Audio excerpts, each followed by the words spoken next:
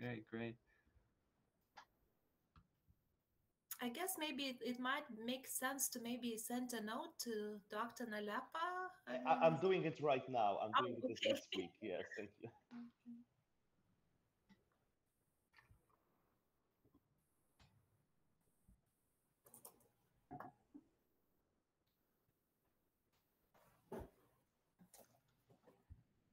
So, Mar- Martin, can I uh, try my PPT? Yeah? Or are Yes, absolutely. So I wanted to ask, would you like me to operate the slides for you, or do you want to share No, your I think screen? it's I- better for me to operate, but I, I haven't sure. tried at the Google Meet, so uh, yeah, I'll so try. at the at the bottom of the screen, the screen sharing button is uh, two two left from the uh, from the Yeah. red hang up sign.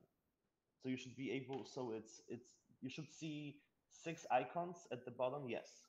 Okay. Yeah, I, I see your slides right now. Okay, Yeah, great. So uh, yeah, I'll, I'll, I'll try. I'll do that. Yeah, because I haven't tried that. I, I haven't been using Zoom. You know, it's the first, not the first time, but the Google Meet is not uh, you know widely used uh, in, in Korea at this time. So good. So in, in Taiwan, there has actually been a blanket ban on use of Zoom among all uh, civil servants, and it Oh. was uh, it was motivated by a decision of the Executive Yuan, the Department of Cybersecurity from April 2020, because at that time there were reports showing that information on Zoom was routed via Chinese servers. yeah. Of And given given Taiwan-China tensions, that was something that uh, the executive yuan couldn't accept. So um, even though technically our organization is not covered by by this uh, by this regulation, since we're a private think tank, uh, we still usually work with Google products Okay. in light of that regulation. I see. I see.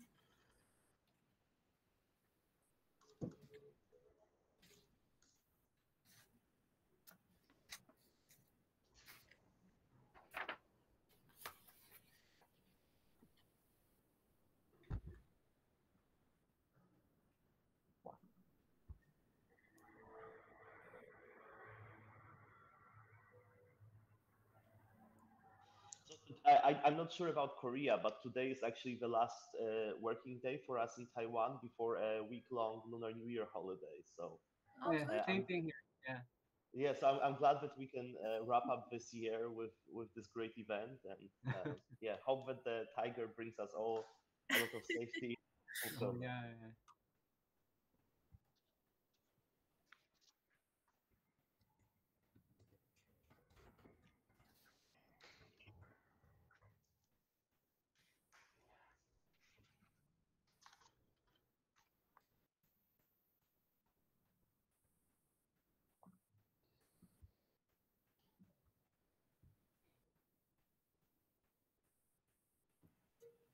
Yeah, I had a little bit of, um, I guess, um, some uh, issues with with actually determining the day.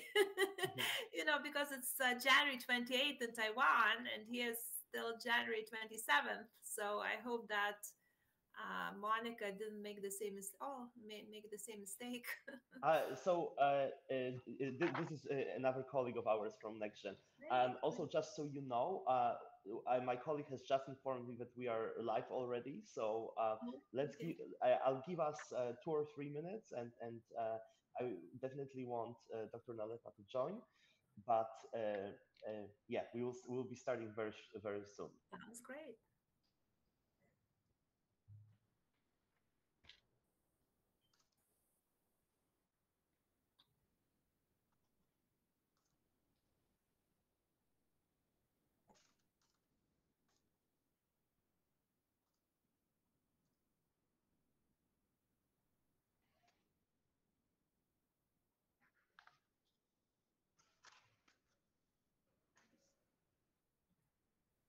So as I'm aware that uh, some of our audience members might have already tuned in, uh, thank you so much for joining this inaugural episode of Taiwan NextGen Foundation's new webinar series on human rights. Uh, we will be starting uh, very shortly. We are still waiting on one panelist to join us, uh, but we are almost ready. Good evening, Dr. Nalepa. Can you hear us all right?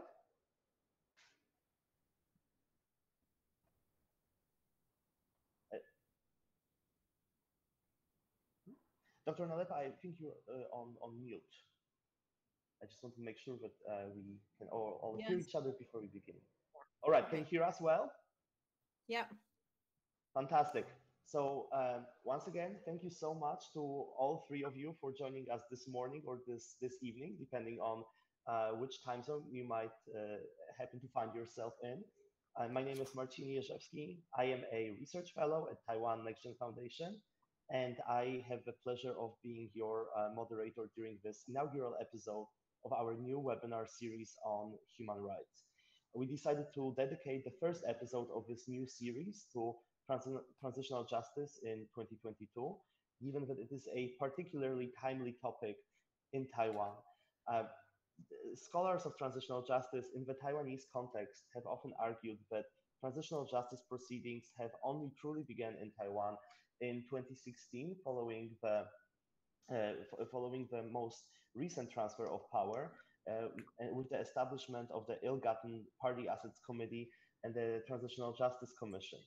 Um, recently, we have also seen the news of uh, Taiwanese President Tsai Ing-wen giving a speech at the inauguration of Taiwan's first presidential library dedicated to Jiang Jingguo, uh, the leader who was personally connected to uh, Chiang Kai-shek's regime as his son, but also someone who is often touted with uh, lifting the martial law and uh, to some extent ending the period of, of white terror. Something that uh, we like to emphasize at Taiwan NextGen Foundation, however, is that even though Taiwan might be an island nation, it does not exist in a vacuum. And therefore, uh, we brought to you a group of terrific experts who uh, will be able to from their case study countries, namely uh, South Korea, Lithuania, and Poland, and uh, allow us to engage in a discussion of how these comparative perspectives in transitional justice can inform um, dealing with the past in the Taiwanese context as well. It is also uh, a huge honor to have two experts from Central and Eastern Europe with us uh, during today's webinar, especially in the context of an unprecedented newfound openness between Taiwan and Central Eastern Europe. Well, uh, without further ado, let us start uh, the, uh, today's discussion. And uh, with us is also uh, Mr. Guanting Chen.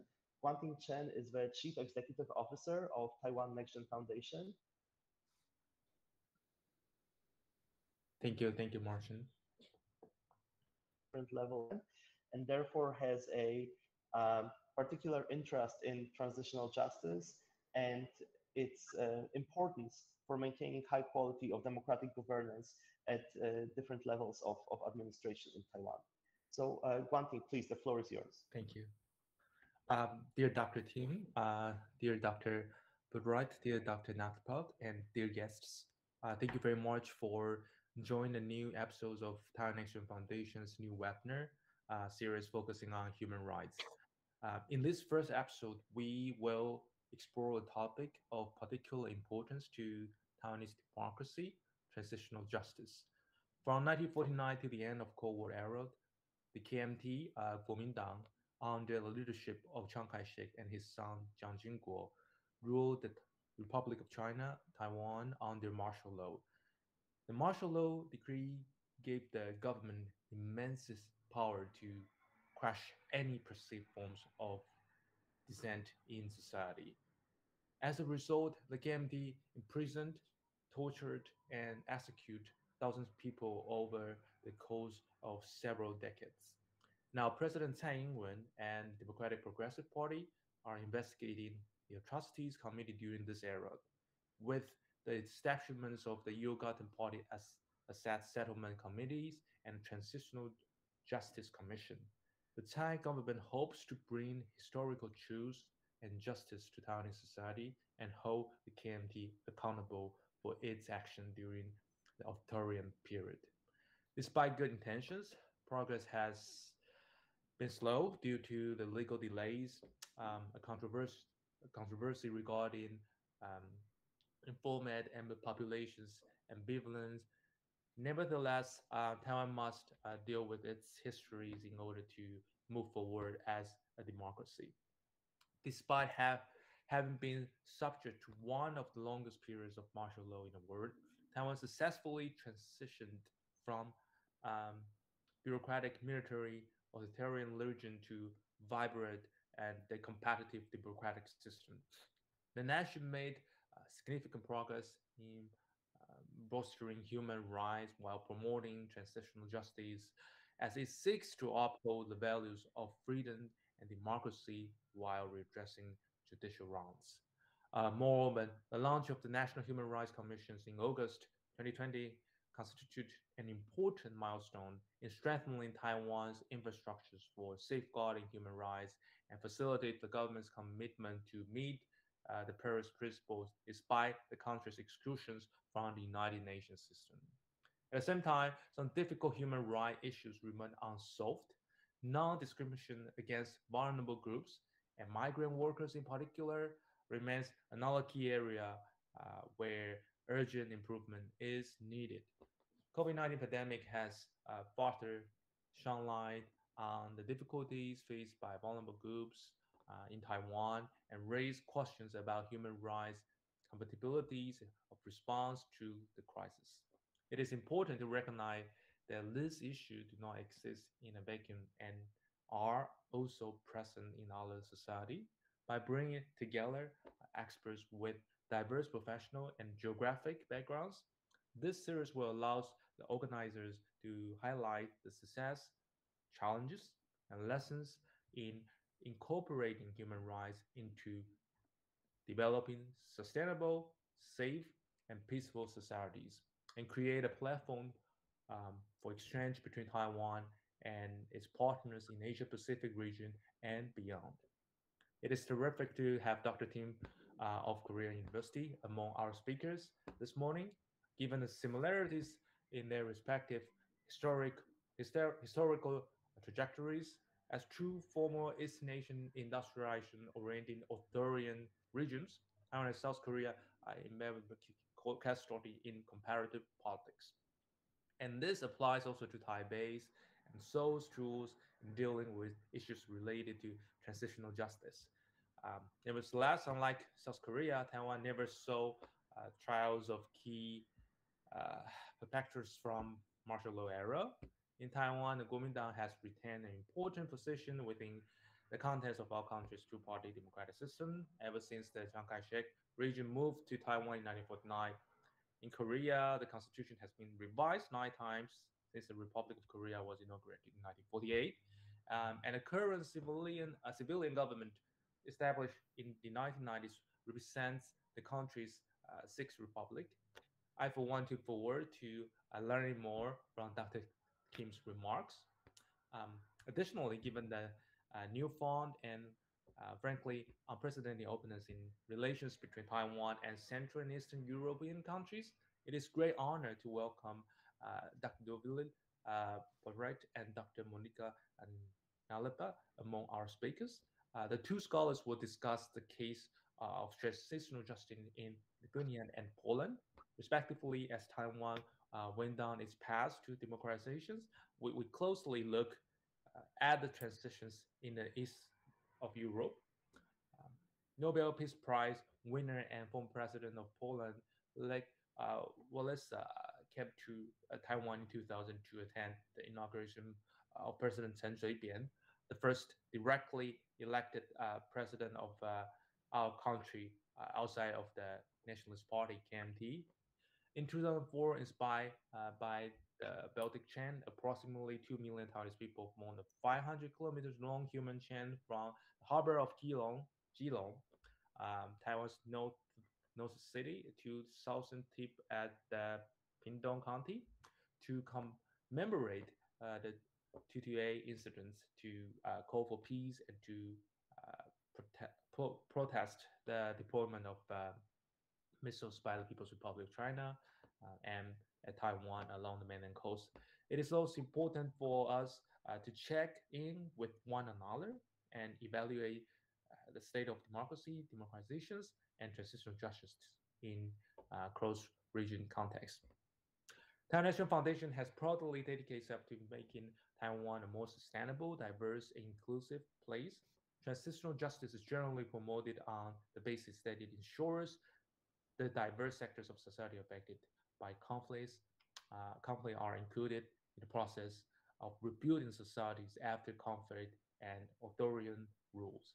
Consequently, the topic of today's webinar is very important to our team as inclusiveness in transitional, in ju- uh, transitional justice involves anchoring um, webs of power uh, dynamics between uh, individuals who have uh, fluid political and social identities, dynamics which we critically explore in our work. Before I conclude, I would like to extend my gratitude to Mr. Martin Jerzewski, today's moderators um, and creator of this new webinar series for uh, his tireless efforts on this project. And as well, uh, we as we enter the holiday season in Taiwan, I would like to wish you all uh, an inspiring, rewarding, and safe Lunar New Year's uh, of the Tiger. I um, I wish you all a very fruitful discussion, and thank you very much. Thank you very much, Guanting, for your opening remarks and introducing our audience and also our panelists to our new series.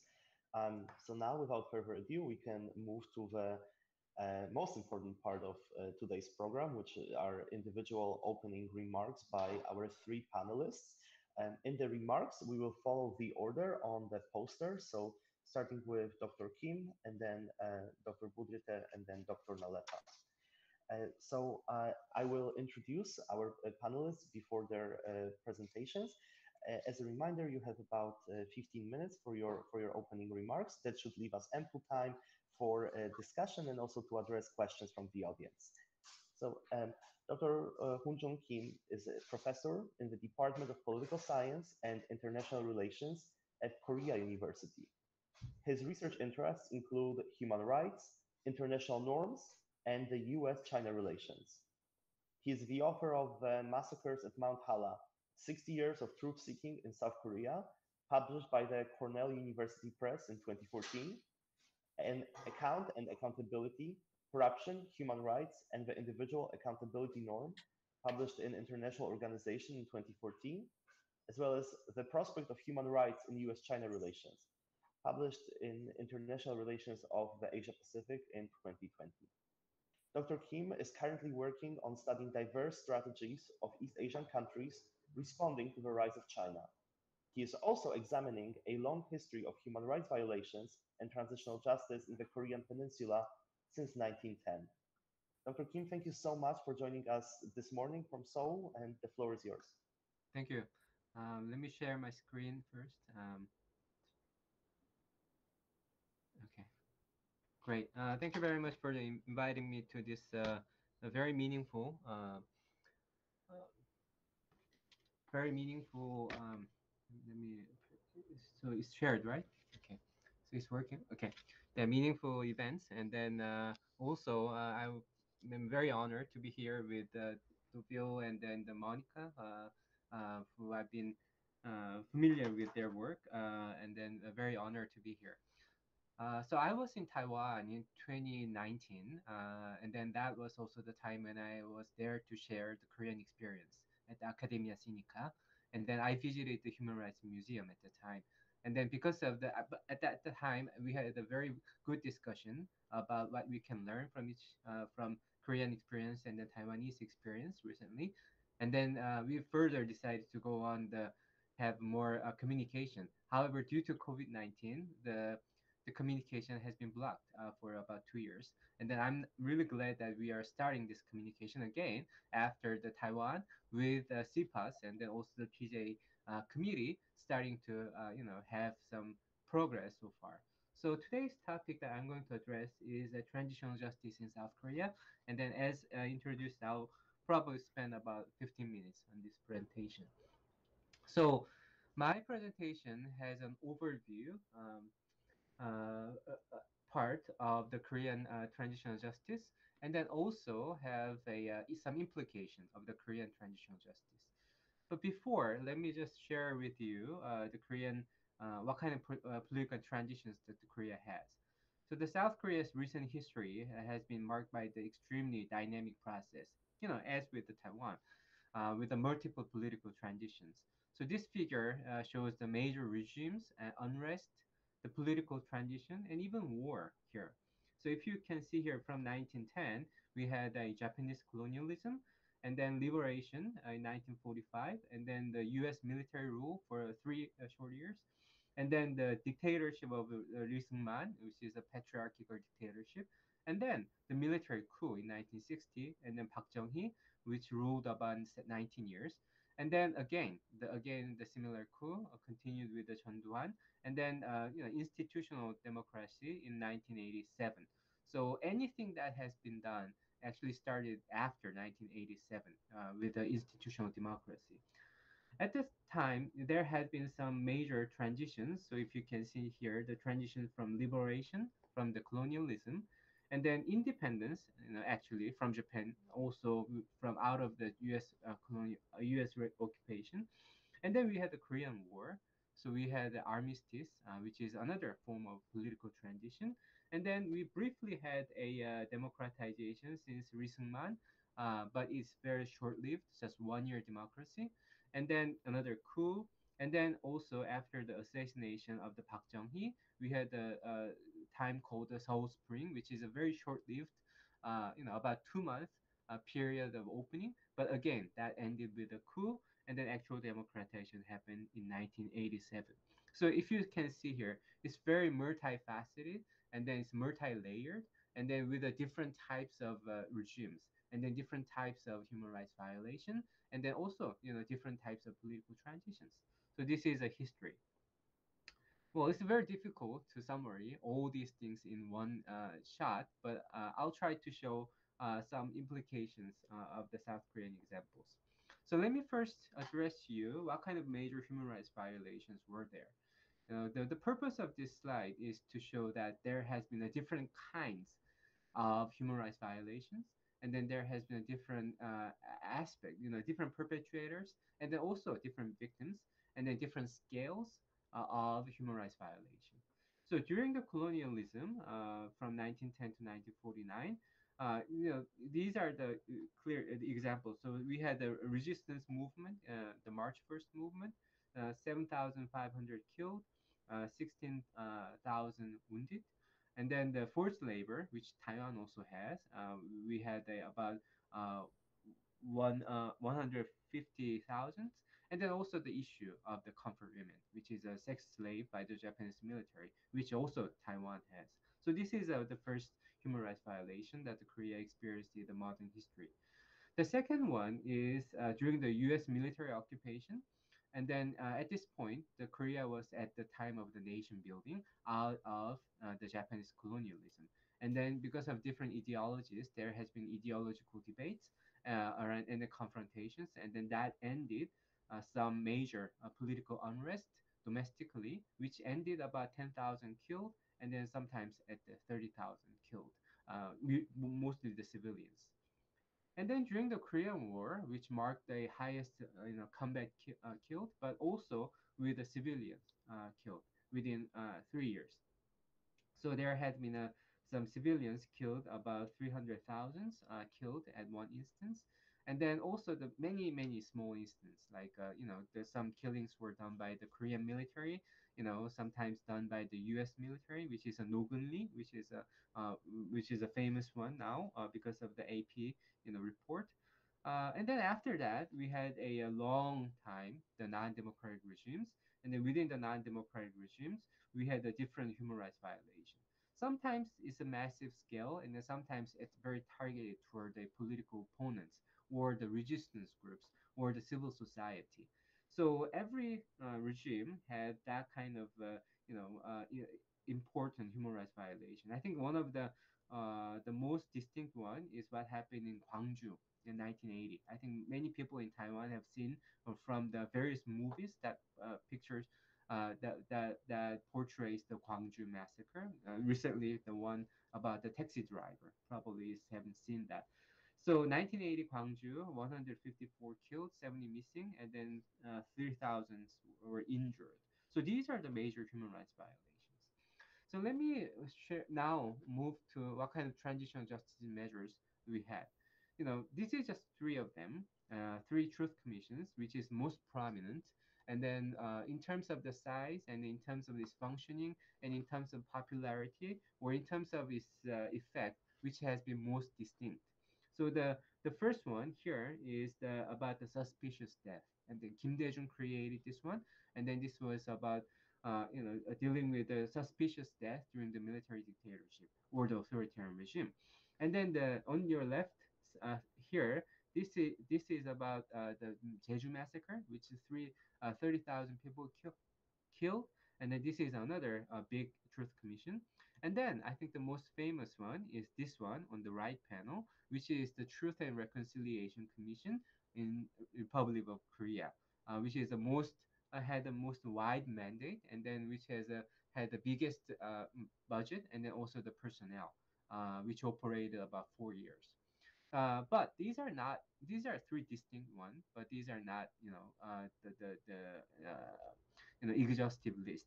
I have an exhaustive list of the truth commissions and then the transition justice measures.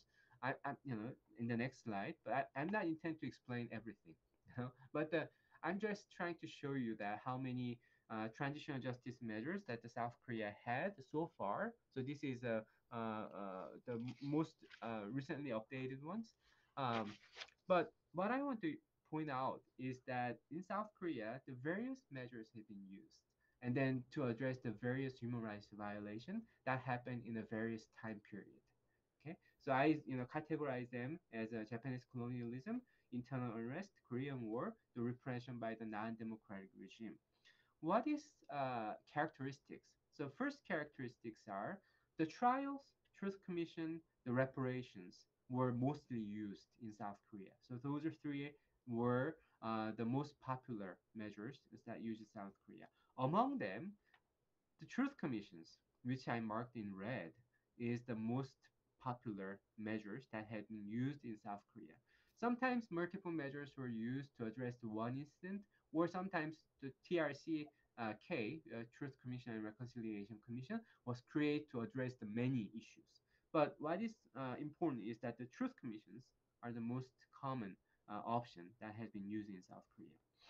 And then if you see here again, uh, most uh, truth commission, uh, most transitional justice measures were adopted between 2000 to 2008.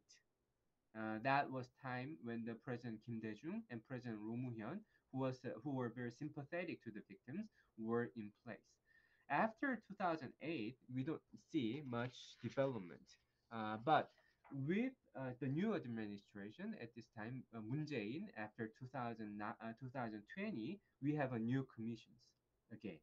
So that's the, the, another characteristic. And of course, we have earlier commissions, like uh, which happened in 1948, 1951, immediately after the, the event. However, most of them ended in failure, uh, was not successful uh, because of the it was not supported by the regime or the evidence it was very difficult. And whenever they find evidence the social environment was not that friendly for the victims. So that is the truth commission. So let me go back uh, uh, let me uh, move now to the implication part. So uh, the first one is that achievement. So what kind of achievement the south korean transitional justice measures had? So i'll divide them into three. The first one is about the truth Second is about the policy and practices. And third one, which is the most difficult one, is accountability. It's very slow one. The truth one is that you know um, you know they found many uh, new uh, facts or the so-called truth, uh, and then uh, you know some systematic and then gruesome aspects had been revealed. However, these were not unknown. These has been already known that the Truth Commission gave them an official status as a truth and then the facts. Uh, so it also revealed some evidence by excavating the, the mass murder site. So these are the e- examples of the mass murder site that has been uh, discovered. Uh, so left one is about the Jeju massacre, and the right one is about the, what happened in the Korean War. So the, this excavation was very important because they gave a uh, clear evidence of the massacre, and then it was a also relieved the grievances of the victims by letting them know where the the, the, the remains of death of their loved ones were. So these were very important uh, aspects of it. So it's Korean setting. And then also, uh, in terms of the civic education, the public is now more aware and then more sensitive to the human rights, and then the responsibility of the government to address the past crimes with all these measures. So, second, the policy and practices. Uh, in many cases, the official apologies were issued, issued, and then some. Uh, so these are the uh, photos of the official apologies given by President Roh Moo-hyun in in 2004, and then on the right panel by the President Moon in 2020. So the apologies are given, not given once, but given you know over and over again, uh, um, based on uh, the, the the president himself. Uh, so these are the another case of uh, the impact, and then also the government records and the historical textbooks uh, reflected these changes, and then now they are uh, have been incorporated these new findings. And then the politicians and the public officials are more cautious using the terms and vocabularies referring to the past. And then in addition, the permanent institutions has been created. Uh, so this is a kind of a you know, permanent institution, the research institution, and then also the, the memorial site has been built. So um, because the Truth Commission is a temporary body, so it has to its work has to go on by the new uh, research institute or the memorial institute, and then they, these are the new findings. And then the last one, uh, I think is very difficult one, is accountability. Uh, it's a final and then still ongoing achievement, uh, and then this is a very difficult issue. The Truth Commissions recommended the retrial of the victims, uh, and then some of them have cleared their names uh, of the false conviction of the past. In these cases, the court dropped the Truth Commission. Uh, the court used the Truth Commission report, and, and then they, they cited them as a critical evidence. I know that the truth uh, in Taiwan, uh, there has been exoneration of the, the former uh, you know, victims Uh, by the tr- uh, Transitional Justice Committee. The same thing happened in the court uh, by the Korea. Uh, and then these are the some pictures. Uh, I think the left one is the most famous one. Is the former president Chun Doo-hwan and Tae-woo, who passed away this last year. had been standing on a trial for their involvement in the Gwangju massacre uh, and then some other crimes related. And then in the right panel, you see the many victims who have been cleared, you know, their names uh, of being a spies or the, you know, the rebellions, rebels, you know, those kind of uh, uh, convictions, the false conviction. On the in the middle, you see that the, you know, after 70 years, have been cleared their names of these false convictions. Uh, the last slide that I have is about the implications of the Korean case beyond the achievement. Well, I'll just address uh, three things. Well, there are many, but I'll just address three things. So, um, in South Korean case, there are more failure cases than the success cases in general. So the Korean victims had many failed transitional justice attempts, and then uh, they also experienced many, you know, um, uh, backfires. You know, the returned and renewed uh, sus- uh, suppressions. Uh, this also li- left the victims with the, defeat, the defeatism and then skepticism and pessimism, and then sometimes caution, and then sometimes deep distrust and suspicion of the government's work. Uh, and the victims uh, uh, several times, you know, hoped and then they betrayed and then sometimes re-traumatized. So this all repeated over the 60 years. But in some, it was never an easy process, and it still is not an easy process. It's, it's a contentious conflictual and then contested process, ongoing process at this point of time as well, even after this kind of achievement.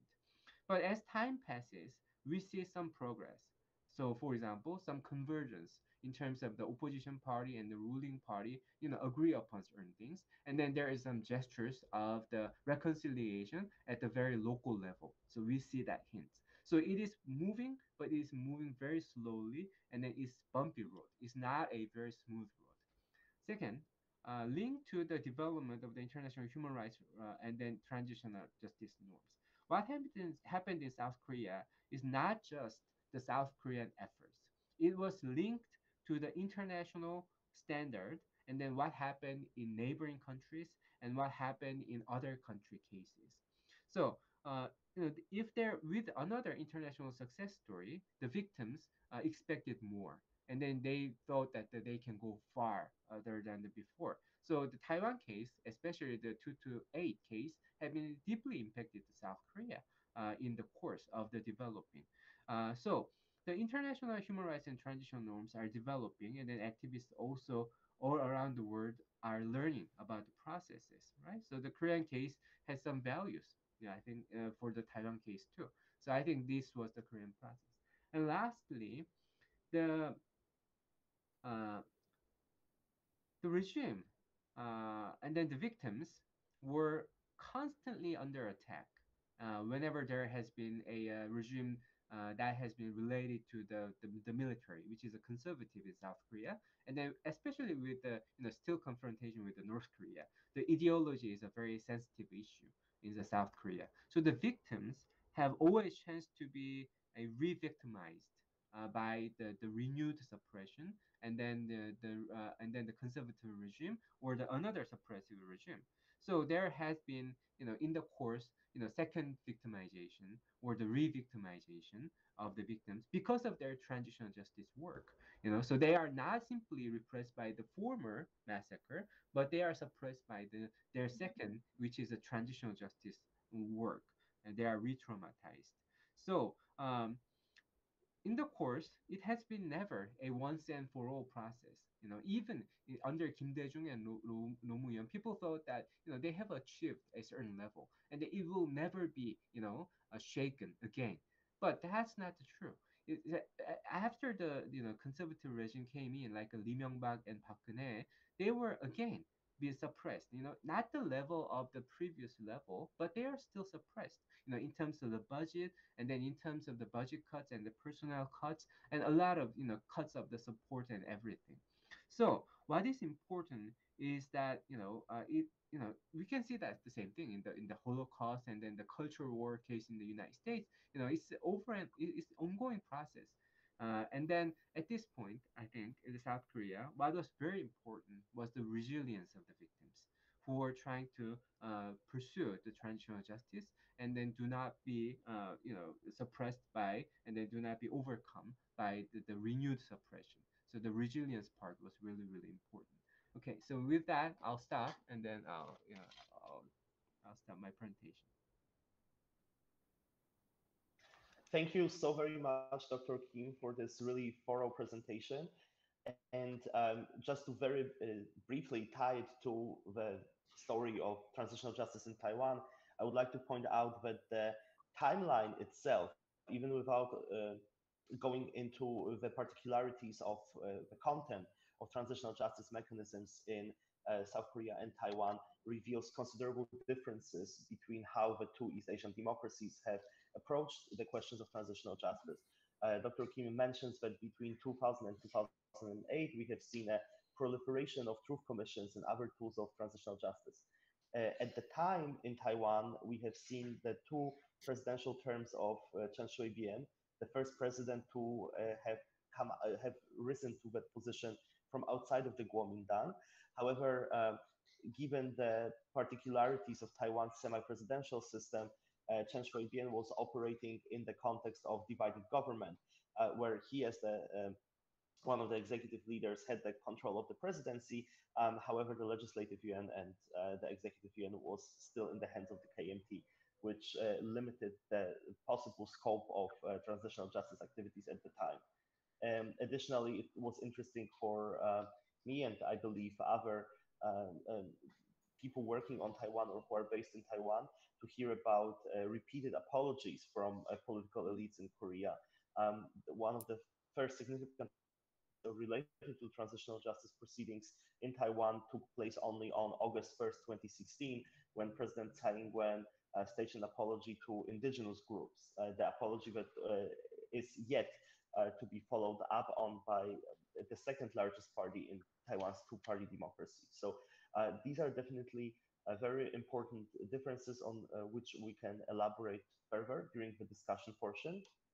But now I would like to introduce our second speaker for today, Dr. Dovile Budrytė. And uh, just a very quick reminder to all of uh, our uh, audience members on Facebook and on YouTube, we look forward to hearing your questions. Please make sure that you drop your questions in the comment box uh, below the live stream video, either on YouTube or on Facebook. If you follow us on Twitter, you can also post your questions on that platform by tagging NextGen Taiwan at NextGen Taiwan. Um, So now, uh, moving uh, to, to the introduction, uh, Dr. Uh, Dovile is a professor of political science and chair of faculty in political science at Georgia Gwinnett College in the United States. She was the recipient of research fellowships at uh, Europa University Viadrina in Germany and the Carnegie Council on Ethics and International Affairs. In 2019, 2018, and 2015, she was a visiting professor at Kaunas Vytautas Magnus University and Vilnius University in Lithuania.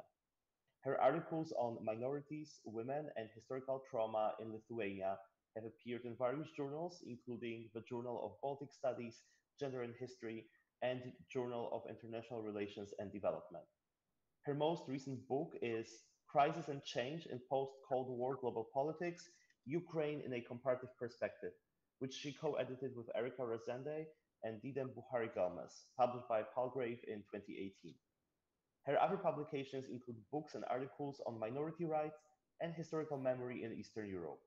She is president elect of the Association for the Advancement of Baltic Studies. Uh, thank you very much for joining us this evening, uh, Dr. Budrytė, and the floor is yours. Well, um, thank you so much for the invitation. Indeed, it's a great honor to be here and uh, to share my insights. I'm really delighted to do that. Um, and I'd like uh, to start out my presentation with making three major points that I would like later on to expand on in my talk. Um, so point number one, and here I would definitely agree with Hun Joon Kim that transitional justice, I you, like using the term historical justice, is definitely a bumpy road. Um, Lithuania has had a very difficult relationship with the past. Uh, processes associated with transitional justice were complicated and produced mixed results. So, therefore, it's very difficult to say that they truly have strengthened democracy in Lithuania and helped to promote human rights. I think this relationship needs to be further explored, further researched. It's very, very difficult to assume that uh, indeed uh, this is the case. Um, point number two that I would like to make is that during the processes associated with historical justice uh, in Lithuania, there has been definitely a tendency to focus on more distant atrocities uh, the Stalinist crimes and the Holocaust, um, preoccupation with uh, retrospective justice, not more recent communist past, um, is definitely clearly seen. And uh, I think that it's still possible to argue that in Lithuania we see the conflation of the whole period of communism or socialism um, associated with Stalinism.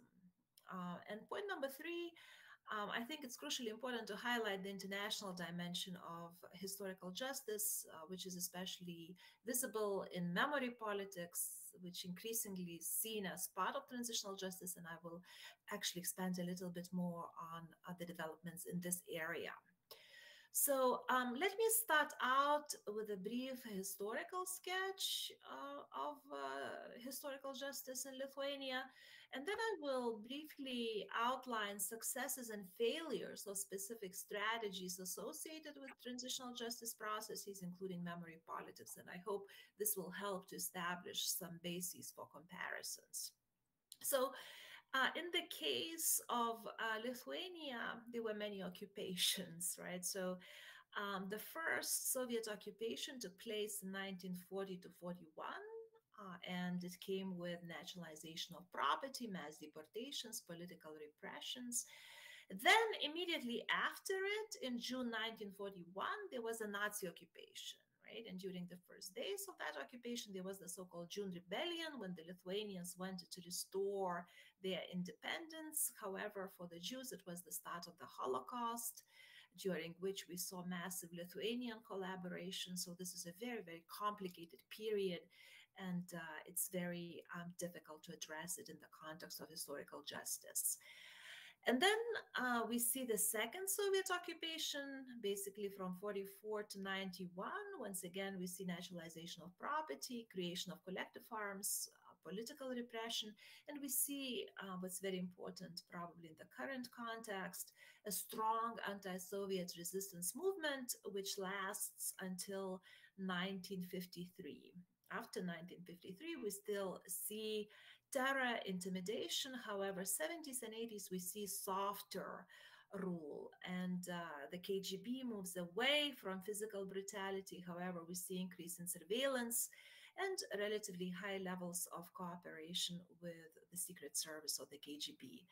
Um, there's resistance coming from the Catholic Church. Um, there are some dissidence groups, and these groups uh, gain more power uh, when perestroika takes place. We see the national uh, revival movement uh, in uh, the 1980s and with the revival movement, we see the beginning of transitional justice. We see commissions to investigate communist crimes. We see memorialization of deportees we see the beginning of documentation of the crimes of the USSR. So this is a very important period for those of us who study transitional justice. During that time too, again, the late 80s, beginning of the 90s, uh, we also see the birth of what I call fighting and suffering meta-narrative, which very much focuses on the fighting of anti-Soviet partisans. These are the big heroes. And the suffering part of this meta narrative uh, would refer to the uh, deportations under Stalin. And uh, in Lithuania, to refer to these deportations and repressions under Stalin we see the use of genocide discourse, which was very much borrowed from the diaspora. Diaspora has been using it since the 40s, referring to Soviet repressions as uh, genocide, which very much focuses on the aggregate suffering of the Lithuanian nation and rejects allegations of co-responsibility, which, as you will see from my presentation, I see as uh, problematic. So now let me transition and talk about um, specific strategies. Um, so um, the first strategy that I would like to mention briefly would be restitution. And here I focus on material compensation for the past wrongs it was indeed fraught with legal and practical difficulties, such as historical issues, in addition to the Soviet occupation, in addition to Nazi occupation. There was also a Polish um, invasion from 1920 to 39 of Vilnius and surrounding areas. So therefore, restitution was extremely difficult to pursue because it was simply unclear who was the owner of property. However, by 2009, restitution claims of private individuals were addressed, um, but uh, however, there were questions about communities, was to do with communal restitution.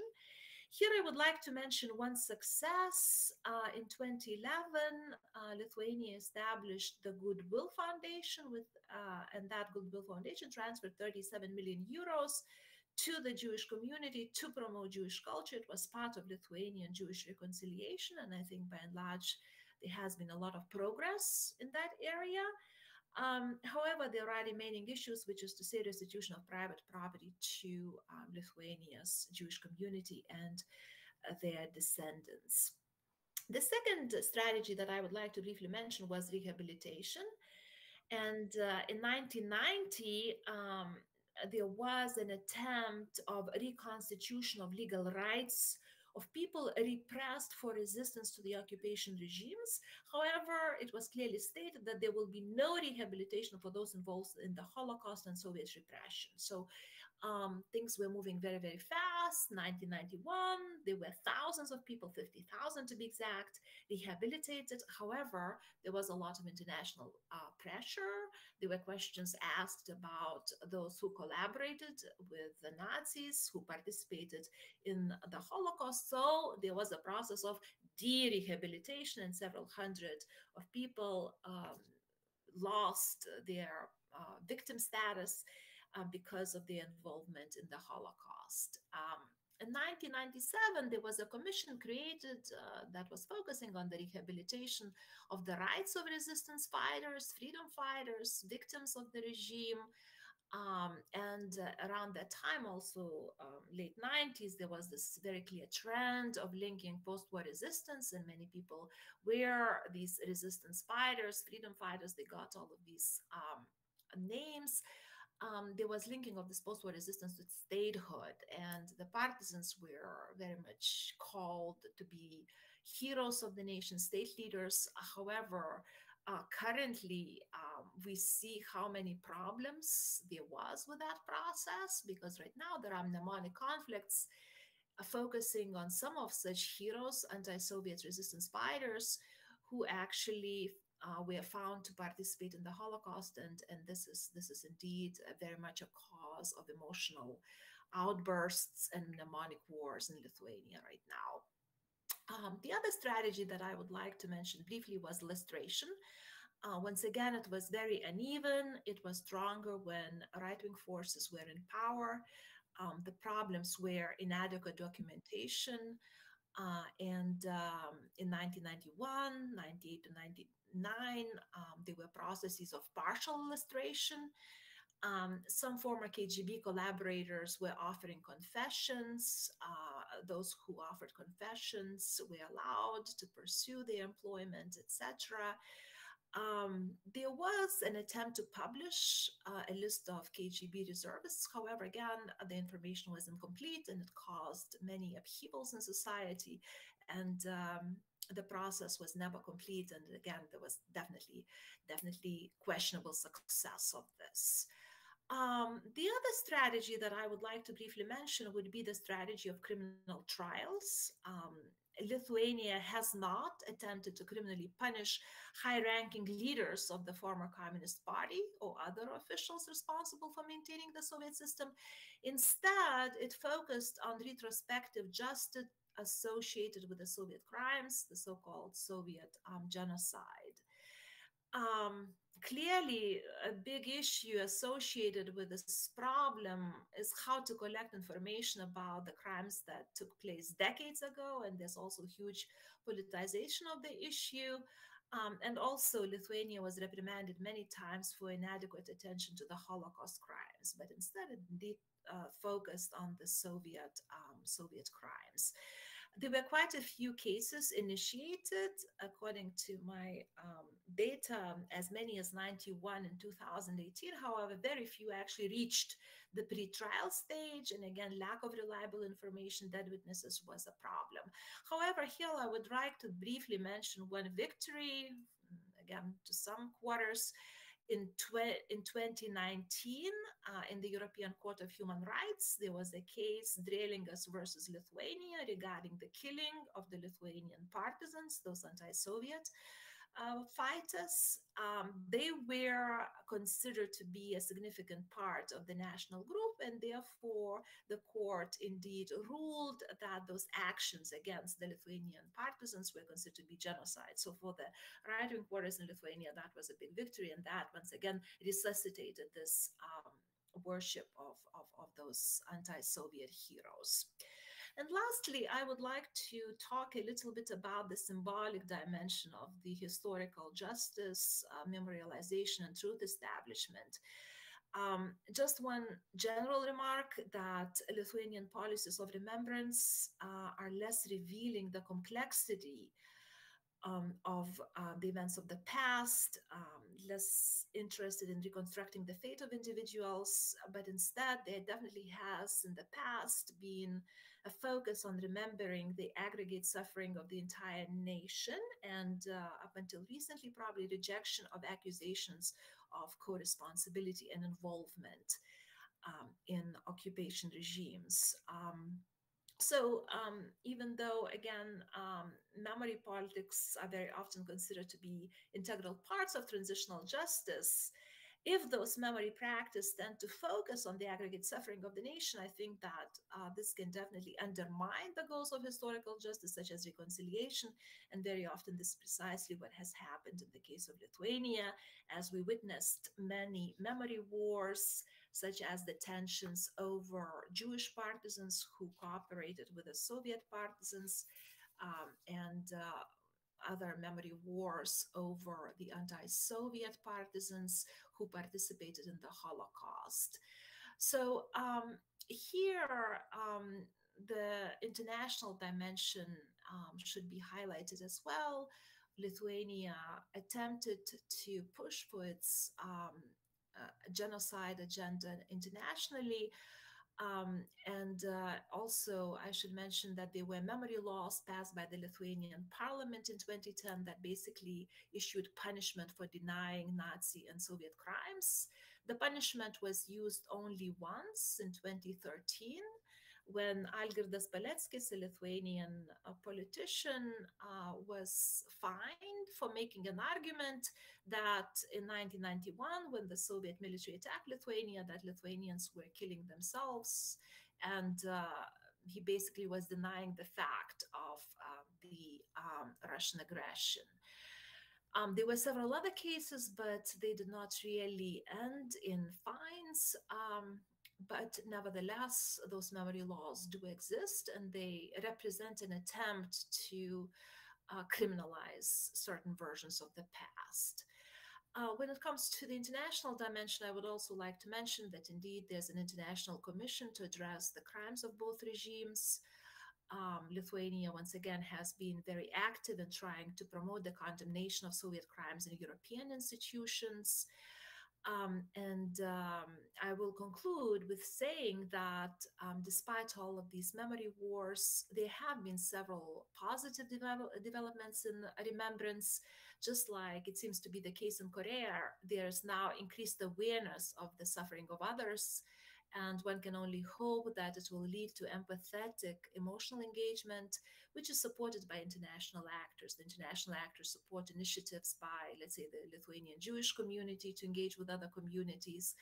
And um, this awareness of the suffering of others definitely um, I hope in the future will help to go beyond this focus on the immediate community of suffering, which has been a part of the process of transitional justice and also made it complicated and impeded it somewhat. So I'll stop right here. Thank you so much. Thank you very much, uh, Dr. Budrytė, for introducing the case of Lithuania in our discussion of transitional justice. Uh, before uh, we move on to Dr. Nalepa's presentation, I would just like to very brief, briefly comment on three points that uh, really um, stood out in your presentation with uh, regard to the case of Taiwan. Firstly, you mentioned that during the processes associated with transitional justice in Lithuania, there has been a tendency to focus on more historically distant atrocities related to the Holocaust and, and Stalinist rule. And this is definitely a dynamic that we have seen in Taiwan as well, especially in the 1990s, with um, this similar sets of mechanisms being put in place for victims of uh, the 228 incident, uh, which took place on February 28, 1947, and in the subsequent weeks, and uh, the uh, white terror period, which essentially describes uh, authoritarian atrocities committed during the uh, period of, of the martial law. So in, in the 1990s, the um, Kuomintang has passed three uh, different laws that were uh, related to providing uh, compensation, to providing rehabilitation, both material rehabilitation, but also reputational rehabilitation to victims of the 228 uh, incident. However, uh, the process for compensation of white terror victims was definitely stalled, and we have only seen uh, significant movement in that uh, in that realm uh, after 2016. So a very different timeline once again, just as in the case of Korea. Uh, then I thought it was quite interesting that you touched upon uh, diasporic linkages, uh, at least when you talked about the rhetoric used to talk about transitional justice in Lithuania, because associations of expatriate Taiwanese based in the United States, but also in, in Canada, Japan, and other uh, geographical locales were quite important uh, to uh, set transitional justice proceedings in motion in Taiwan. And then last but not least, and this, this comment is also, I believe, uh, prescient of uh, the Polish case and, and Dr. Nalepa's remarks that we're about to hear are, is related to lustration. So uh, lustration is something that has not happened yet in Taiwan and um, just uh, through uh, sheer uh, geographical connection, I am currently sitting in an office on the boundary between Taipei City and New Taipei City. And New Taipei City is a an important hotspot for a conversation about lustration in the Taiwanese context, because the KMT mayor of New Taipei City, uh, Hou Youyi was a member of the police force since 1975 and was directly involved in um, the investigation and, of uh, Nylon Cheng, who is now deemed to be one of the most important figures in the Taiwanese human rights landscape. He uh, self-immolated in defense of uh, freedom of speech and, and freedom of, of the press in Taiwan. And um, during the most recent local elections in Taiwan in, in, in 2018, this uh, police past of the of the incumbent mayor was not really dealt with in a way that many people would find satisfactory. So lustration is definitely an um, area of transitional justice in, in which Taiwan can uh, collaborate considerably with uh, Central and Eastern European uh, partners. So uh, thank you for allowing me some time to make these comments. And last but definitely not least, uh, Dr. Monika Nalepa will touch upon the uh, case of transitional justice in Poland. Dr. Nalepa holds a PhD from uh, Columbia University and is currently an associate professor of political science at the University of Chicago. With a focus on post-communist Europe, her research interests include transitional justice, parties and legislatures, and game theoretic approaches to comparative politics. Her first book, Skeletons in the Closet, Transitional Justice in Post-Communist Europe, was published in the Cambridge Studies in Comparative Politics series and received several awards. She has published her research in top journals, including Perspectives on Politics, the Journal of Comparative Politics, World Politics, and others. Her current work centers on how transitional justice mechanisms contribute to the quality of democracy. A centerpiece of it is the Global Transitional Justice Dataset funded by the National Science Foundation. Her next book, After Authoritarianism, Transitional Justice and Democratic Stability, is coming out with Cambridge University Press in 2022. She teaches courses in game theory, comparative politics, and transitional justice. Monika Nalepa has also held prestigious fellowships at the Harvard Academy of Scholars and the Center for the Study of Democratic Politics at Princeton University's Woodrow Wilson School. She's a native of Poland and speaks fluently in Polish and Russian. Dr. Nalepa, the floor is yours. Thanks so much, um, everybody. Um, so let me preface this by saying that I'm neither an area studies specialist nor historian, um, but I do have a keen interest in um, strategies, especially strategies that help uh, sustain uh, both democratic and authoritarian regimes. So uh, I'm going to focus my comments on the intersection of martial law, actually, and the future of transitional justice, using Poland as an example, and hopefully that will be um, that will be useful. So I'm going to start with pointing out that um, authoritarian regimes suffer an information deficit. Okay, so in contrast to democracy, it's actually very hard to obtain information about legitimacy, about how popular the, the regime is, uh, how popular is the government, because there are no elections, or there are, in other words, no meaningful elections. So there's no information about how resistance is mobilized, uh, how mass spread it is, how well organized it is, uh, or even you know how numerous it is. And this is particularly uh, relevant for seasoned authoritarian regimes um, that have been around for a long while, for, for a while. And Polish, the Polish authoritarian communist regime was no exception. Um, the by the 1980s, the, the secret police apparatus was flailing and really struggling to obtain information uh, for several reasons uh, about this size of the opposition. Um, so the first is that they were failing to recruit the best officers. Um, we've uh, been able to obtain data on vacancies uh, in various departments of the secret police, and it's really astounding how s- struggling these forces were to uh, continue recruiting the best and brightest. Um, they were, for the first time in the 80s, also dealing uh, with an inter-class and inter-regional opposition movement uh, in the form of solidarity.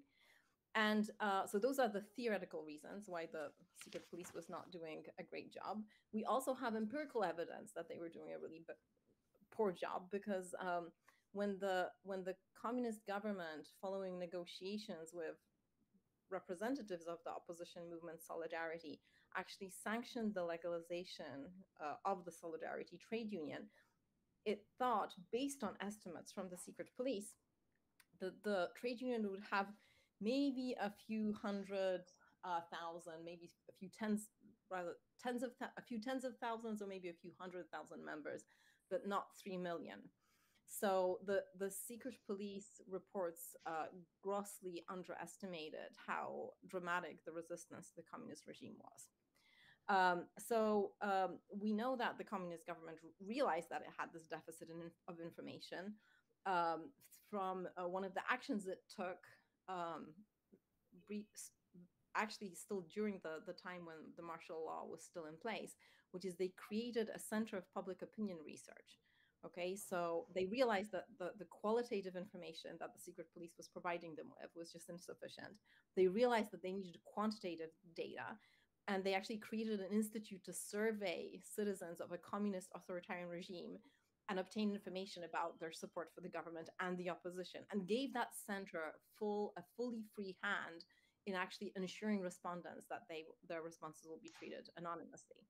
Uh, so that's somewhat tangential, but um, but I'm I'm highlighting this because CBOS is basically a trove of uh, uh, of resources now for scholars of authoritarian uh, regimes. But it also shows that the communists were aware of this deficit. Okay, um, so CBOS maybe solved the quantitative problem of like how numerous the opposition was, even if even if these surveys underestimated at any given time how large the resistance was by collecting trend data, at least they could observe whether it's growing or declining. Uh, and and that is in fact how they use this data uh, because uh, they one of the questions asked in the surveys was, for instance, were you at the time when Solidarity was a legal organization a member of that trade union?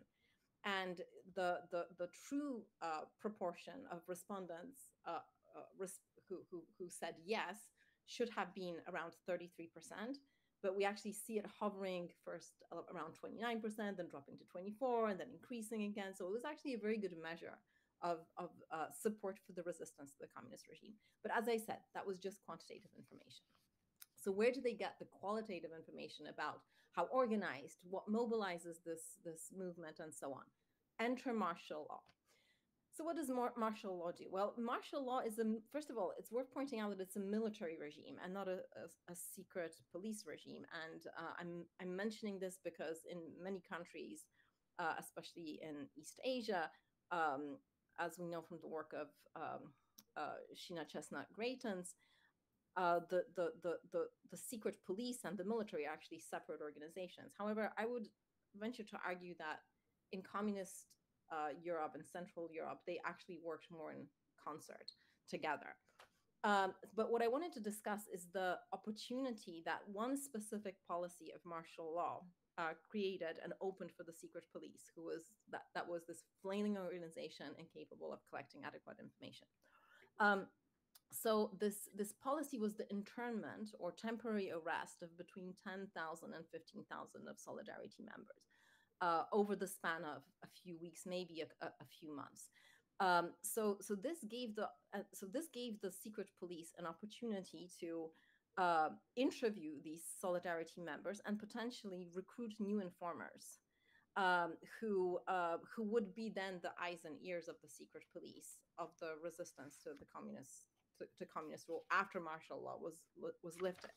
And it was a very successful campaign. I mean just think about it right? Instead of going and recruiting one by one informers you get this opportunity to just interview thousands of them uh, often under duress people who are just itching to go back to their homes take care of their kids their parents whatnot.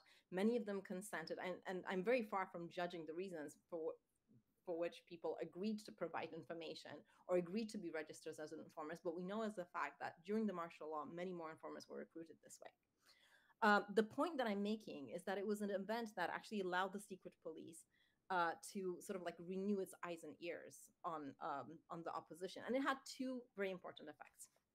Effect number one, it extends the tenure of the authoritarian regime. Right now, it's able to uh, infiltrate a new uh, society. Um, and I know somebody's going to point out, well, the regime fell anyway, but that we don't have the counterfactual of how quickly it would fall without that recruitment of informers. Uh, but here's where transitional justice comes in. As I argue in uh, Skeletons in the Closet, that action also shielded the masterminds of martial law and of the communist regime in Poland from transitional justice. And the reason that this happened is because it created, um, for these freshly recruited informers, solidarity members a very strong incentive to argue against transitional justice. Any form of uh, opening the files of the secret police and revealing its activity was very dangerous for these uh, members who were recruited, and not only for those members, but al- also for parties that were associated with them and affiliated with them. Um, so, as I point out in my first book, Skeletons in the Closet, it was also against the interest of post-dissident parties to actually engage in transitional justice. So the prevailing uh, line and the prevailing story in Poland following the transition to democracy was uh, was was calling for the so-called thick line to separate the past from the present and not engage in transitional justice. And this was sort of like sold as well. This is like the Polish version uh, of the Spanish model. We're looking to the future. But in fact, uh, this uh, this this burying the past ended up creating skeletons in the closet, which ended up coming to haunt those very dissident members um, of the of the opposition later on. So, as I argue in my next book, after authoritarianism, as uh, as as Marcin uh, quoted, um, what new democracies should do if they want to strengthen their stability is among the two at least two types of transitional justice transparency regimes and accountability regimes or retribution. They should really invest in transparency because it's the lack of transparency that allows um, all kinds of persons connected with former agents of the authoritarian regime uh, to blackmail leaders uh, with skeletons in the closet. So I'll end there, uh, and I'm happy to uh, address any questions. I understand that the this line of reasoning is, is somewhat controversial in my neck of the woods, but um, you know, as a tenured professor at the University of Chicago, I um, I'm trained to make bold statements. So thank you. Thank you, thank you very much, Dr. Nalepa, for elaborating on the on the Polish case and its idiosyncrasies and uh, how how the uh, later phase of the authoritarian period in Poland also shaped later uh, transitional justice proceedings. I think that uh, th these calls for a thick line or an uh, appropriation or localization of the of the Spanish model, as you mentioned, um, th this this line of thinking also resonates with um, some of the political elites in Taiwan, as I mentioned. Uh, Taiwan is a peculiar case, as in um, just like in, in Mexico, for example, the former um, authoritarian monopolistic party still plays a, an important role in uh, democratic electoral politics. Um, however, uh, the question of ill-gotten party assets of the KMT or the question of opening of the KMT archives to the public is still is still lingering. So uh, there are definitely uh, parallels on which we can um, uh, we can draw as we try to uh, apply lessons from the case of Poland and also Lithuania and Korea to the to the Taiwanese case. So um, once again, thank you so very much for your for your presentations. I have already some questions from the audience. So with the with 22 minutes remaining in today's webinar, uh, I suggest that we move to the uh, to the discussion portion. And um, I would like to start with a question that has actually come from uh, several individuals at once. I have seen it uh, on Twitter just now. I saw it in the sign up form. And uh, people are interested in learning more about the nexus of uh, transitional justice and political polarization. Namely, how can we um, effectively use tools of transitional justice to deal with the past uh, without uh, polarizing the society? I understand that it's a broad question, but if anyone would like to start, um, let's let's go ahead. Yeah, yeah. I mean, I can I can take that because uh, just, so just last week I had the opportunity of attending um, an amazing book manuscript workshop of Professor uh, Sayan Loyal at uh, Penn State University, um, and uh, what she's arguing in her in her forthcoming book is the is, is are, are, is that the the strategies that regimes um, choose when sort of like demarcating what what kind of atrocities will be addressed with transitional justice and which atrocities will not be dealt with transitional justice is very consequential for create, creating these regime divides, if you will. So basically, polarized communities and a new democratic regime where some people feel they're included in, the tra- in transitional justice and their victimhood is recognized, and others who are just left out because somehow, you know, it was decided that what happened to them does not fall under the purview of transitional justice. Right. So I think, uh, and you know, I don't want to be overinterpreting uh, Sayan Loyal's theory here, and I really encourage everybody who has a chance to uh, to reach for her book when it comes out is that you know making transitional justice more inclusive so actually including you know as broad of a range of crimes as possible uh, is probably you know the thing to do to avoid to avoid polarization. So you don't have those victims who are feeling you know left out. And it's a very expensive process. It's probably a process where you know you might have to sacrifice accountability and just focus on truth and transparency. But you know that seems to be the lesson that you know i came away with uh, on friday after spending a whole day discussing her chapters so Thank you, thank you very much, and uh, especially thank you for uh, drawing a connection between this popular question from the audience and um, new scholarship that is coming out on the subject. Dr. Budrytė, Dr. Kim, do you have any insights on this? Um, yeah, I think I just would like to highlight uh, the importance of transparency. I think it's uh, definitely um, the processes uh, should be transparent and um, um, drawing on the case of Lithuania, unfortunately, in the past, uh, transitional justice was definitely associated with um, nationalist right wing parties. And uh, I think one of the big problems, you know, from the case of Lithuania that I tried to communicate in my presentation was this exclusive uh, focus on the crimes of the Stalinist regimes, deportations, repressions, um, and kind of a little bit of less um, attention to uh, the, the, the other crimes that took place. And uh, so I think um, I definitely would uh, second what uh, Dr. Nalepa just said that uh, this approach of trying to be as transparent as possible and trying to be, in a sense, historically as inclusive as possible not just focus on you know one particular trauma but try to actually include um, multiple historical events seems seems very uh, promising from what I'm hearing. Mm-hmm. Thank you, Dr. Budrytė. Dr. Kim, would you like to weigh in on this question of yeah, polarization? Sure. Uh, you know, in terms of the polarization, I think we are living in an age of uh, you know domestic polarization. I think, and I think this question about the transitional justice becoming one of the uh, you know one of the the factor that that, that divides the society or sometimes brings a, a uh, big uh, contestation or the conflict or sometimes uh, um, hmm, contention within within the society is a uh, I think is a factual thing. You know, I think that's what's hap- happened in South Korea, and I think you know I see that in the U.S. case. I think in the cultural war case, I think it's similar, and the racial issues. Uh, and then about the past histories, how that, that, that makes society more divisive uh, these days. Uh, but in terms of the South Korea, I think uh, uh, uh, I see two things. The first thing is that um, yeah, I think some controlled or the milder level of discussion or you know attention to the, the past wrongdoings is a healthy thing for the society because they have to figure it out you know, about the facts and then truth and then what has actually happened and then what are some nonsenses, you know. But I think up to that level, um, I think that's a, that's a healthy uh, tension within the society, and then every society society has that, and I think that is kind of a universal aspects. I think when it gets tipped over to the contention is when the political parties or the current political regimes are trying to use or to utilize the past in order to take advantage or the some advantage of the current politics.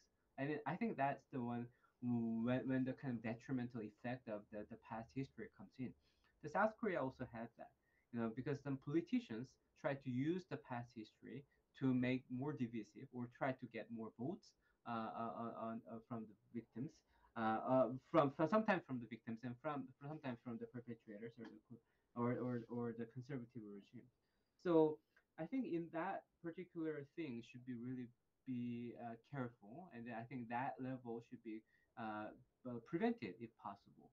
Uh, and I think the role of the media is also really important in order to how they portray the past issues and then how that become a contentious issues.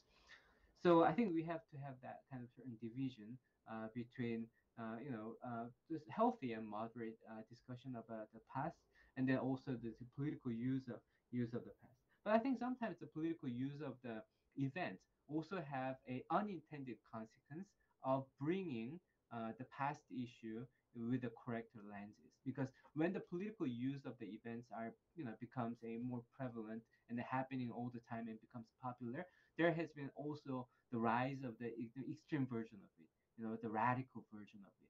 So and then people use and then those radical expre- uh, uh, views about the past are sometimes filtered in you know um, sometimes filtered by the in the course of discussion so in a way those violent or sometimes conflictual discussion about the past also it's kind of detrimental of course for the pol- polarization but sometimes has a uh, you know uh, i think it's a, not, not a good but sometimes beneficial effects in the long term in terms of the you know figuring out what are the radical voices and what are the extreme voices and then whether they should be tempered in.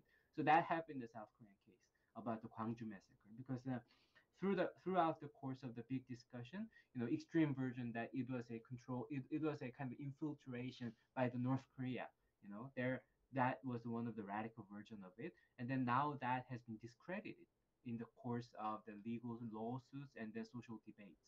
So you know i think that is how the society should should go. And i think that taiwan also has this very similar effect about the transitional justice measures. I know that the the Maingju has been referred to what is the the Minjindang is doing as a green uh, terror.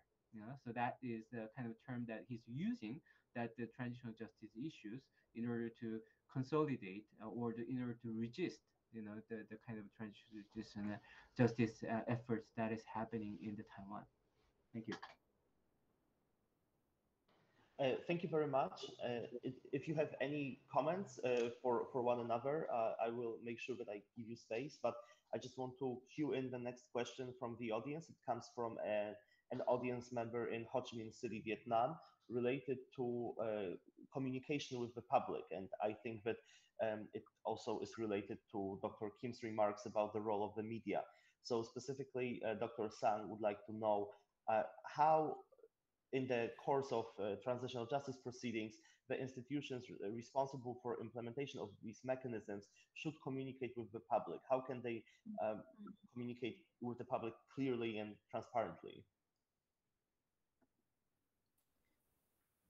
Yeah, so I, I think, you know, the easiest way to answer that is, you know, for truth commissions, right? Because truth commissions also almost by definition, they're successful if they publish a report I wanted to also highlight they're not successful if they made it make everybody happy. In fact, Jim Gibson, you know, one of the first authors of um, actually a trilogy on the truth and reconciliation journey in, of South Africa, did highlight that, you know, in his opinion, the commission worked well precisely because it, it annoyed everybody. Everybody felt like that, you know, they didn't get that the other side didn't get all the blame. So I don't think that that um, expecting happiness is the you know like the right normative criterion by which to evaluate transitional justice. Uh, but they produce a report so they inform the public.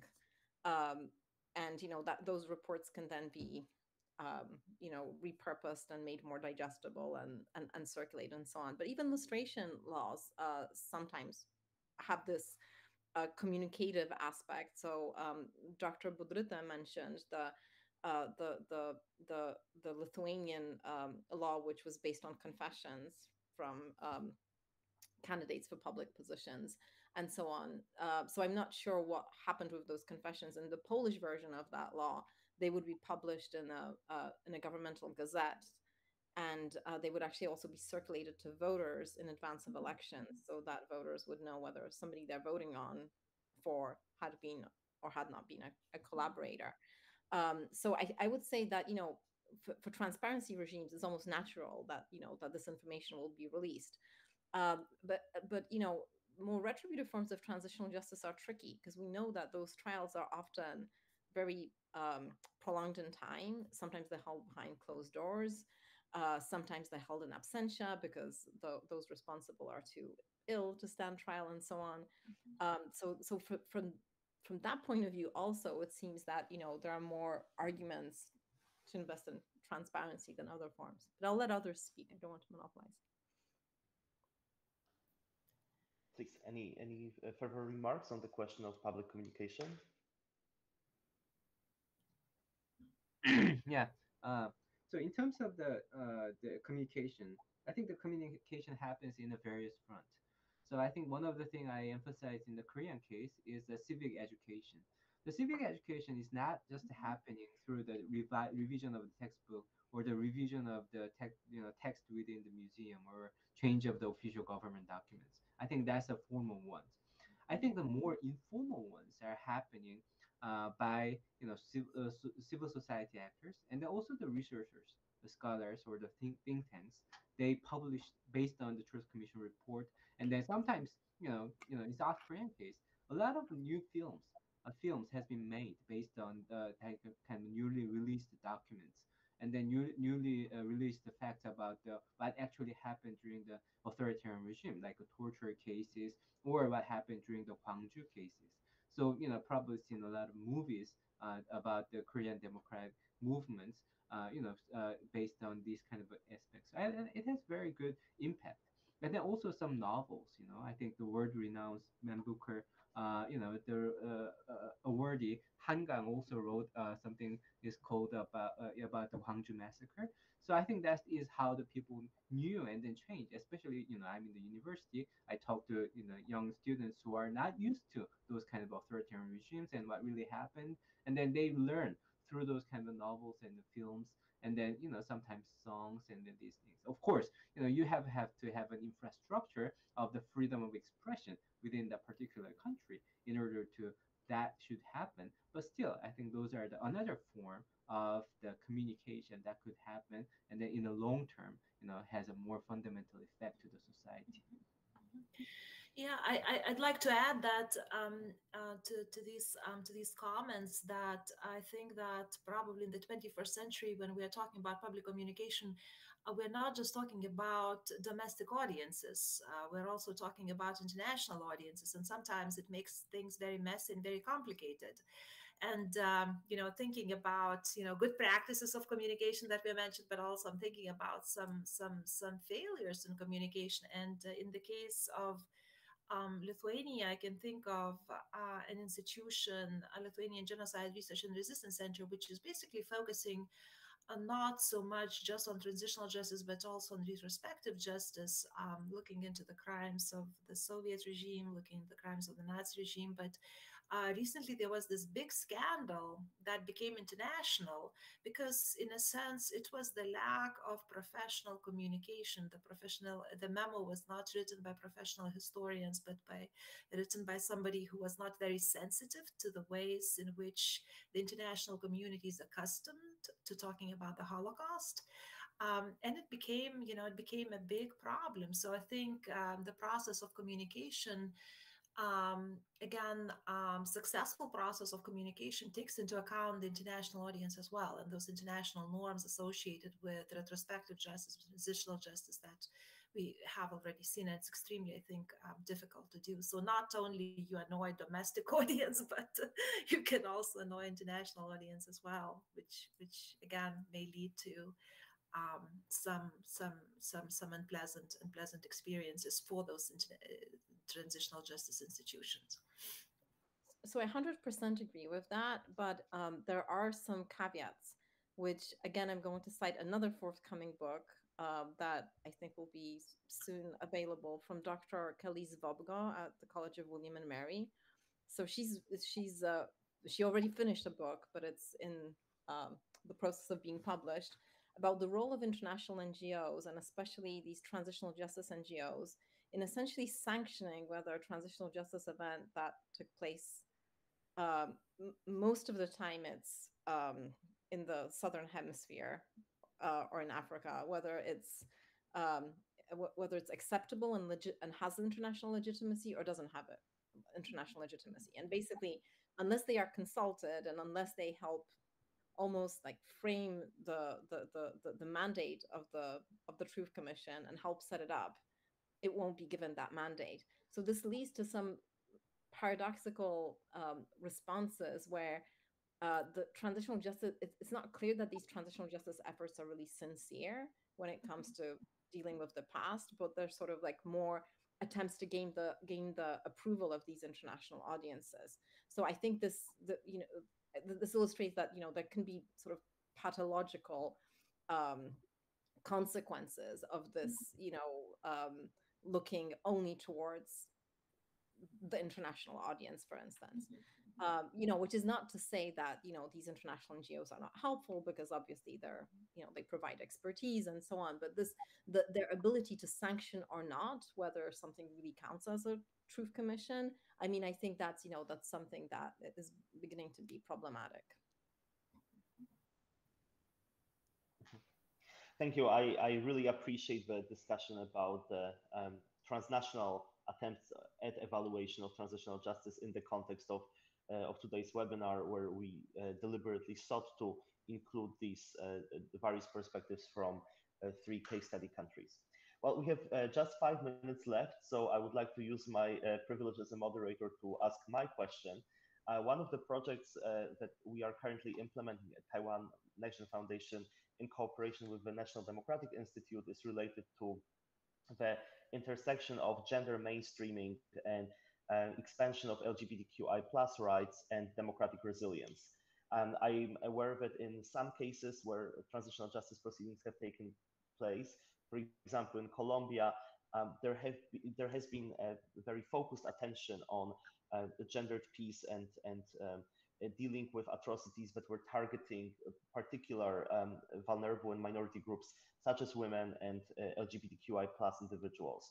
So um, based on your uh, experience in the cases of Poland, Lithuania, and Korea, uh, could you comment on the extent and the success of transitional justice proceedings um, with regard to atrocities committed uh, against women and LGBTQI plus individuals?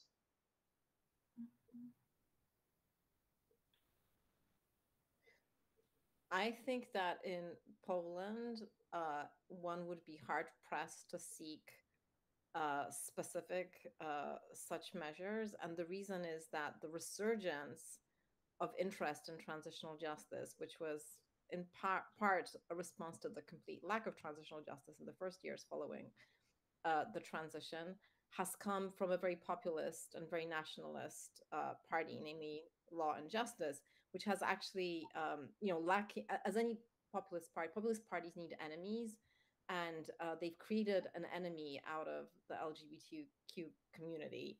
So, uh, so I think probably when they leave power, there will be a need for transitional justice with respect to, uh, you know, those communities that have been that are currently being victimized by them. But so there is, I would say, there is a demand for such transitional justice once this regime that we currently have in Poland is over. Uh, but but I don't think there are any measures that were put in place. In fact, I would even you know venture to say that when it comes to women's rights, they were in better shape in some regards under communism than they are currently. And I'm thinking right now about reproductive rights, which are so severely curtailed in Poland that um, you know I, I I couldn't you know yeah. So that's a, that's another group that is currently being victimized. Thank you. Mm-hmm. Um, yeah, I think in the case of Lithuania, I would say that um, gender culture is changing a bit, um, even though um, unfortunately the gender aspect, I think uh, I, I, couldn't be able to identify it in transitional justice. But um, I'd like to mention this one recent development uh, in Lithuanian Genocide Research and Resistance Center. So uh, a project that they are starting would be to look at gender aspects of this anti-Soviet resistance movement. So, you know, where were the women during this war? Uh, what were they doing? Were they active combatants or not? Right? Um, and this is new.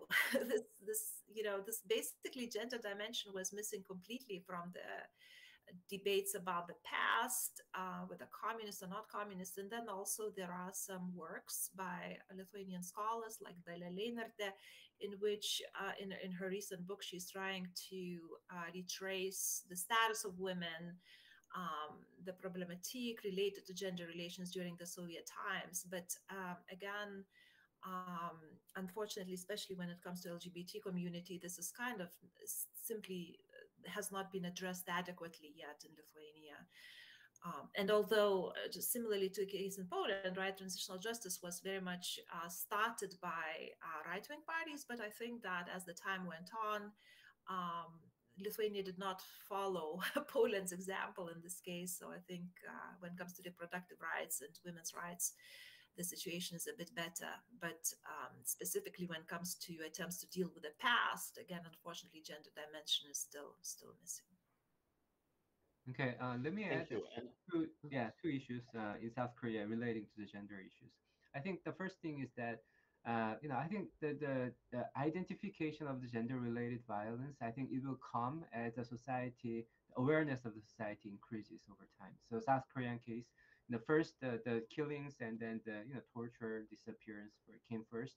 But I think as time passes and the people aware, the gender related violence becomes the issue and then more victims are coming out. Uh, so i think that is the one uh, aspect. So we have to wait until the society the levels of the aware social awareness and then the victims awareness of the issue becomes a more more ripe in the society. And then the second one is that uh, i think uh, in korean case especially the women's um, uh, the, the the dealing with the trauma and then because the most victims were male and then the, the the people who were left over were the were the women and then uh, uh, the the trauma issues has been recently focused and then how to deal with that uh, medically and then how to deal support them has been a big issue. So i think trauma tr- treatment of the trauma and then the issue has been another aspects of the the trend transitional justice in south korea thank you Thank you very much for all your insights. Unfortunately, uh, the time is up. Uh, I really appreciate your time and your willingness to join us this morning or, or this evening, depending on where you're tuning in from. Uh, I believe that uh, today's discussion will provide a lot of food for thought, not only for our Taiwanese audience members, but also to um, people from around the world who are interested in transitional justice and human rights issues more broadly. Um, Please uh, do follow Taiwan NextGen Foundation on social media. We are on uh, Facebook, Twitter, Instagram, and also on YouTube. Um, this is the first episode of our series, and we are planning on uh, re releasing the second episode in March. So um, keep in touch uh, so you can join the second episode. And uh, once again, thank you very much for joining us. And I wish you all a, a very happy, a very safe uh, New Year of the Tiger. Thank you Bye-bye. so much for organizing and wonderful to uh, meet you, Professor Budrytė, and see you again, Hun Joon. It's been, uh, I think, three years. yes. it, it was really a great experience. Thank you, everybody. It was very, very interesting. Thank you much Thank you. for inviting us. Thank you. Bye-bye. Bye.